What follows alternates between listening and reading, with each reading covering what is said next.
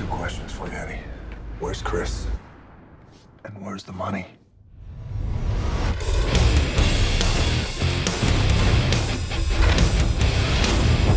There it is, $25 million. Whoa, whoa, whoa, whoa, whoa. Watch out. Camera right there.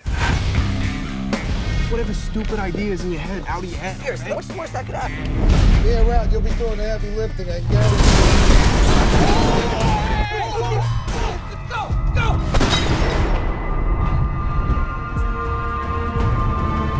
anything to do with whatever just went Break down. already, okay? He was a good guy, he had a family. was giving Tony's wife 5,000 instead of 50. I know they're stealing, trust me. Yeah, everybody's just you, bro. You know what I could do with $25,000? What are you, crazy? I Told you I was coming, bro.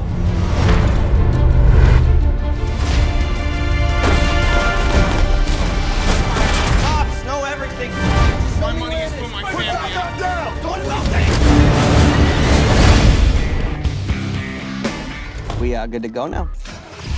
Let's do it.